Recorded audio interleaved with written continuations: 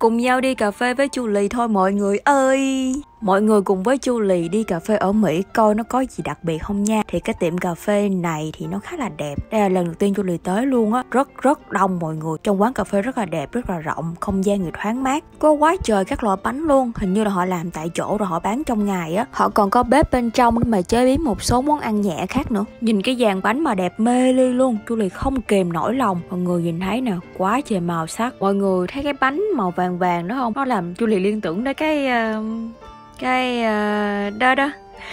thì đây là ba cái bánh mà Julie đã order. Có cái bánh vàng vàng đó đó mọi người. Đã nói đi cà phê thì chắc chắn không thể nào thiếu nước được. Cho nên Julie đã quyết định là order trà xanh nha mọi người. Thì cái bánh đầu tiên Julie ăn ở đây á, thì ăn nó giống như bánh men của Việt Nam mình vậy. Ăn nó hơi xốp xốp, mềm mềm, cứng cứng nhưng mà nó rất ngọt. Còn cái bánh mà cheesecake mà có blueberry của mình ở trên này nè, là cái bánh ăn ok nhất luôn á. Cheesecake thì nó béo thơm, trái cây cho nó chua chua, cân bằng lại vị ngọt. Còn cái bánh hình giống cái cục uh, đó đó của mình á thì ăn nó hơi ngọt một chút xíu. Ở ngoài nó có cái vỏ cứng cứng. Cái màu vàng đó thật ra là vị chanh dây á mọi người thì nó cũng thơm thơm cũng ok. Ba cái bánh này tổng quan lại á thì ăn cũng được không dở. Ăn cũng ngon nhưng mà bị một cái du lịch không thích là nó quá ngọt giống như tất cả các đồ mỹ khác thì nó rất rất ngọt. Còn cái ly matcha hôm đó chu uống á thì nó hơi trắng và nó nhạt nó không có ngọt. Chu nghĩ là họ làm như vậy để mà bù lại cho cái vị ngọt của bánh á. Matcha thì khá là thơm có vị đắng nhẹ cũng như là sữa thì hình như họ xài loại sữa hạt hay sao nó không có béo và thơm như sữa bò. Họ còn có thêm cái quầy bánh cookie mình mua mang đi nữa. Bên trong cái bánh này của mình á, họ có một ít cái sốt của chanh dây á mọi người, thì nó cũng rất là thơm, mình hơi chua chua. Tại cái bánh nó ngọt quá, nó hơi gắt cổ một chút xíu á, nên du liệt đi lấy nước uống nè, cho nó bớt cái vị ngọt đi.